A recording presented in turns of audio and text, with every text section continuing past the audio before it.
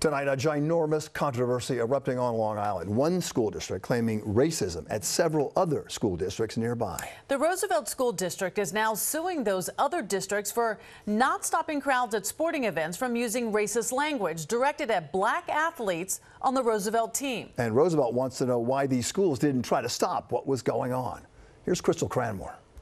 They disrespected as a symbol to the players on the court that we don't regard you as human beings. They say a picture is worth a thousand words. A parent capturing this moment during a boys basketball game between Roosevelt and Wantagh High Schools in Wantagh, February 17th. Seems to be a large group of young white men who have turned their backs on opponents in a place where sportsmanship is supposed to rule.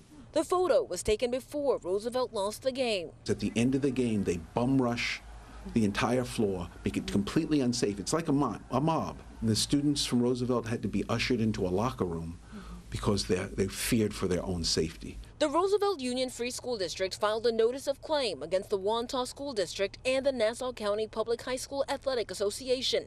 The Lynbrook School District is also named in the document for another incident at a February 15th game.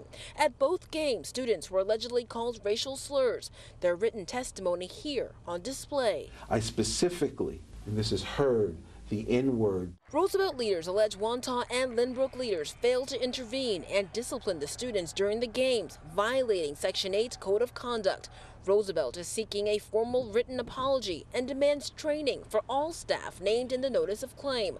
For the superintendent, this is personal. She says there's a history of racial intimidation. What's significant about this one, two districts came together to make our students feel uncomfortable. The Roosevelt School District has stood up and said, we're not going to accept this anymore.